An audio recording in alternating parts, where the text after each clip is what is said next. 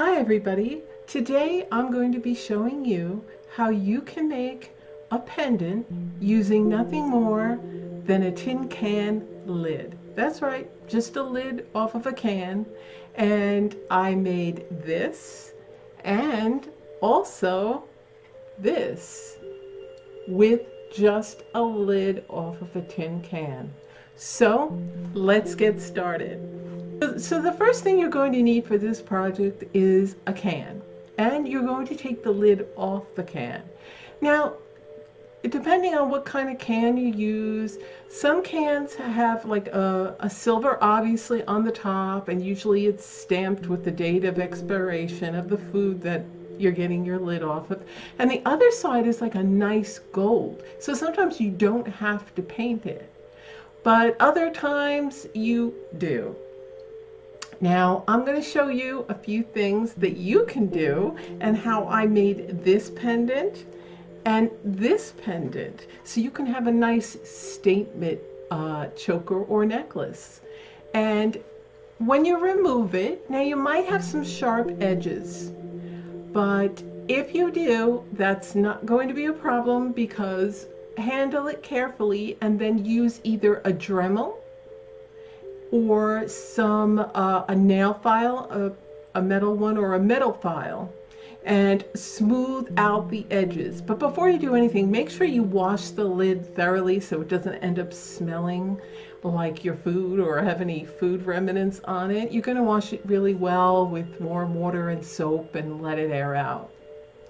And then you're going to want to sand it to smooth out the edges. Now you're either going to want to keep it full and round like this one, or I'm going to show you my next one. You're going to want to cut it in half like this one. And I'm going to explain how I made the both of these. Now, for this one, I had to obviously cut it in half. So what you're going to want to have around you, other than the tin can lid and a Dremel or some not nail file or metal file to smooth out the edges, you're going you're going to need a metal cutter or tin snips or something sharp that can cut cleanly through the tin can lid. The metal is usually tin, so it's more flexible. What I did with this one is I took a tin can lid and I bent it this way and I bent it that way and I kept bending it back and forth and then I just filed out the uneven portion because I didn't have anything sharp enough to cut it in half. Now that could be a little messy and could warp it, so that's not the ideal way you should do it, but I had to improvise because I didn't have the proper tools. So that's the way it was with that one. The other thing I had to do was I couldn't punch a hole through it. Now, ideally, you might want to get something to punch a hole on either side so that you could put jump rings and hang it, and then maybe a few holes down here so you can hang like beads or the little metal uh, fringy things that I forgot what they're called, or if you want to hang chime, uh, or if you want to hang charms from it, beads, charms, whatever.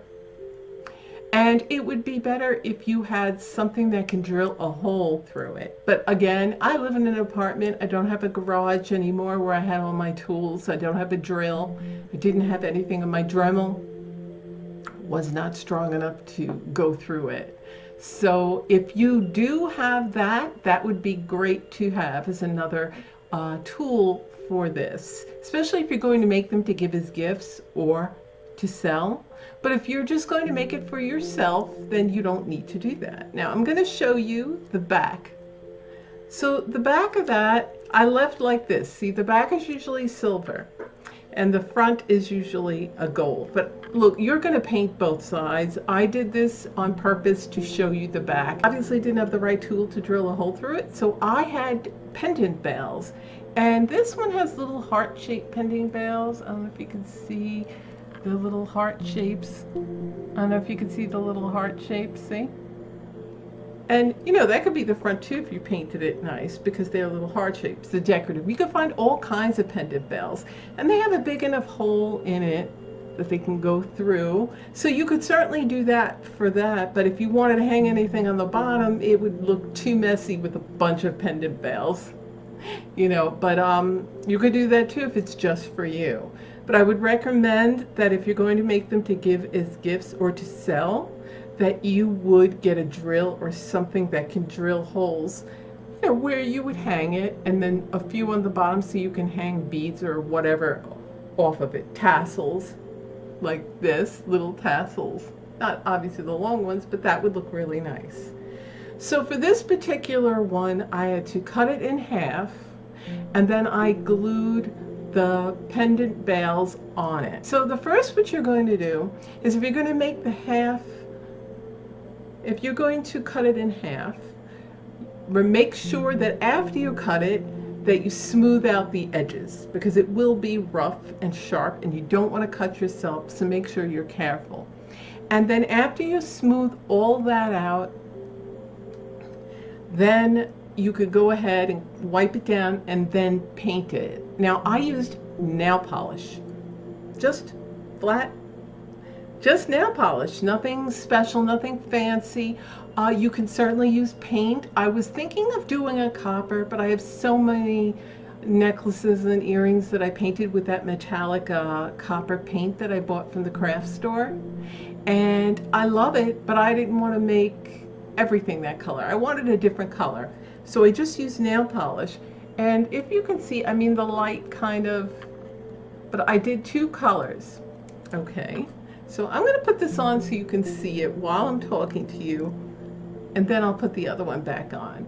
Now the colors I used, I believe this says, colors I used for this particular pendant were these that I got from Five Below. Now if you don't have a Five Below by you or you don't know what a Five Below is, it's almost like a dollar store. It's $5 and below, basically everything. And these were like 68 cents a piece and they're called Funky Fingers. And this one's like an iridescent purpley, black, blue and this one's like a tealish blue iridescent. And I mix these two together. First I put the lighter color all over it. Then I added some of this all over it. Then I went back with this and I just kept blending and blending until it got a nice coat. Now if you're going to do this, you're obviously going to do both sides. So what you're going to do, if that's what you want, I mean if you're going to make it as a gift or if you're going to make it to sell, you're going to want to do both sides. But after you do each side, let them dry thoroughly because you're going to kind of cake these on and it's going to have like a texture. Now keep in mind tin can lids usually have that swirl which makes it fun if you're going to fill that whole thing with beads like if you're going to just paint it one color and put beads around and around like one in the middle and all around you can paint uh, you can kind of make like a mandala. So they do have the grooves, but when you kind of cake on the paint, it kind of covers those grooves. So that's up to you. But I really blended these two well and it made it thick. And I let each side dry thoroughly. Now it's not going to dry in five ten minutes like your nails. You want to give it a good 30 minutes for both sides because it's going to be tacky. Once it's done, now if you, I would recommend you find an object to drill. And I would drill before you paint. So if you have a tool that you can drill a hole through, go ahead and make you, where you want to drill. If you're just going to drill it here and here, then go ahead and do that. And then if you're also going to make a few holes here on the bottom so you can hang beads or whatnot from it, then go ahead and do that before you paint it. Okay, and make sure it's smooth and then um, go ahead and do your painting and make sure that both sides of your pendant is completely dry, not even tacky, okay? Otherwise you'll ruin it. Now you can add glitter to it. You can design it any way you want with whatever colors. I'm just telling you what I did for mine and what colors this was. And then I used, once it was all dry, I got some pendant bails. Now because I didn't have a tool to drill it, I had to use pendant bails that I just showed you. And I glued it with my E6000 glue and I used a toothpick and I just put very little E6000 glue on the head of the toothpick because you don't need a lot and you put very little on the back of the bail and then you hold it. And you're going to want to face it down with your bails facing up at you and you're going to want to position it. Now, the reason why I recommend E6000 glue over a glue gun is the glue gun tends to dry, and then when it uh, like dry rots, your bails will fall off. That happened to me many times when I wanted a quick fix, and I highly don't recommend that. Luckily, it was just for me. It wasn't something I sold or gave as a gift because that would be embarrassing. and you want a higher quality. I would use the E6000 glue. All you need is a dot on the tip of a toothpick, and you put a little on the pendant bail and put your pendant bails on. And the other thing that's good about using the E6000 glue is when you use that, you have a little leeway before it really uh, sticks, adheres to your item, because what it does is uh, it allows you to have some room to move around. Because when you use glue from the glue gun, the minute you put it there, it's like instant. And then once you pick it up, it's a little sticky. You gotta peel it all off, and you know, it's just a an inconvenient mess where this gives you a little leeway and about 20 to 30 minutes to move things around if you see something's crooked. And then leave it alone. Uh, typically 24 hours for it to dry when you're using E6000 glue. So you might want to, if you're using bails and not drilling a hole, you might want to make that your last step, okay? And then you could leave it sit all overnight and in the morning it'll be nice. So you can paint these multicolors or do what I did with the two colors. And I, all I used, I'm going to take this off so you can see, I used some of those acrylic gemstones, okay? And I'm going to show you them. I have some clear ones in here. I separate them, and the rest have different colors. Now, I could have made it more colorful, um, but I used the light blue on that one, and this is what they look like. They come in different shapes, okay? This is like a light pink. Ooh, this one's like a heart shape and it's purple. And see the metal at the back is like a little metal, but they're kind of plasticky. They're just acrylics. And this one's a little pink. And they have like pyramid shapes, and you've seen me use them, and I've used them in crafts throughout my house. So I put light blue over that. Now, if I would have put the white, it would have looked a little more noticeable. I didn't do it. I kind of wanted it to just be a little design element, but not to overtake the whole pendant because I felt that the pendant was bold enough in color that it really didn't need too much. But you can do whatever you want. I mean, you design them how you like. And I use that, and that's what it looked like. And it does add like a little sparkle to it without being too much. And you can put this on a choker, a chain, one of those rope chokers, or anything you want. And that's all I did with it. And I love it. And I like the color, how it turned out. And that's it. That's that one. And for this particular one, I left the lid intact. All I did was wash it. I dremeled around to make it smooth. And when you paint it, be sure that you uh, paint the sides as well. That helps to keep it smoother as well. And then all I did was, I, again, like I said, I didn't have anything to drill a hole through it, so I used a pendant bail on here. I painted it black. All I used was this black nail polish and my silver glitter nail polish. But and that's what I used around the edge. So I'm going to take it off. You can't really tell with the glare. It's, it's like a big statement necklace. It's big. It's the size of a can lid. See, that's what the back looks like. Again, I didn't do the back on purpose. Like the back is usually the top of the can where it's silver, has the expiration date stamped, and the front is like a nice gold, which you can leave. But I painted it black and once I painted it flat black, I went around the edges with the silver glitter nail polish. And I did that a few times, gave it a few coats, and let that completely dry. Once it was completely dry, I took one of these things. These are what you would normally put on top of a bead, and that's what they look like. Like bead caps that's all it is. You know, you put this on top of it, and you could put that also when you're making tassels. So I I had a diff a few different things I was going to put in the center. I laid things on top of it to see how I wanted it once the paint was completely dry.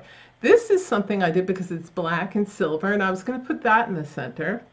And then I was going to put different color, brightly colored stuff around, but I decided to keep it like a black and silver type thing. So what I did was I put that and with a toothpick again and my E6000 glue, I went around the edges of the bead cap, placed it in the center, uh, and then I put these odd shaped clear acrylic. And I liked the way it was and thankfully with the E6000 glue you only have to use a little that you apply to the back of the acrylics and you can use beads if you want but what I like about the E6000 glue is that it gives me time to maneuver because once I did it and then I walked away I noticed one was crooked and this was like 20 minutes after but I was able to move it slightly and that's easy. It's just a tin can lid and nail polish. How affordable is that? And most of you already have that stuff in your house.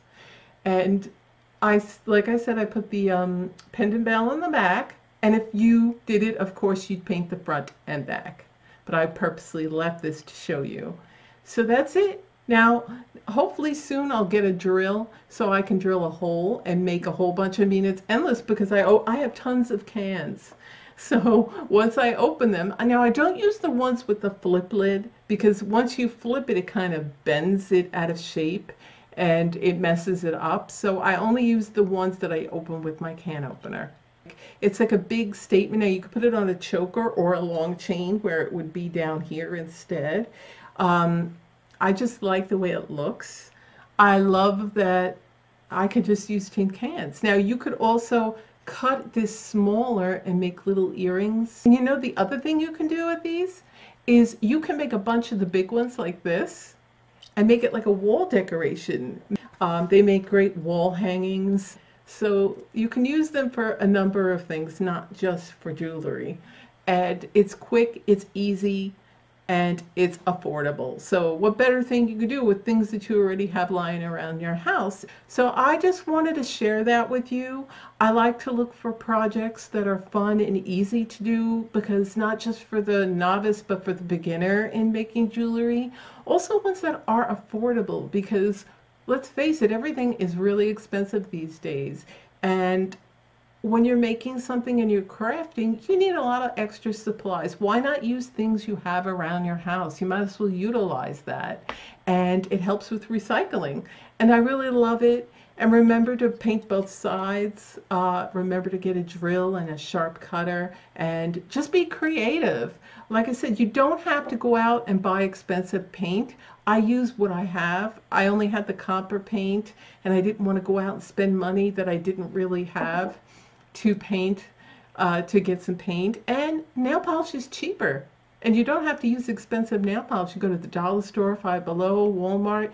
Just get the cheap stuff. It works just as well. Hope you like that fast, easy, and affordable project. And I hope that you make some. Go ahead and get crafting. So I'll see you in my next video. Thanks for watching. Bye.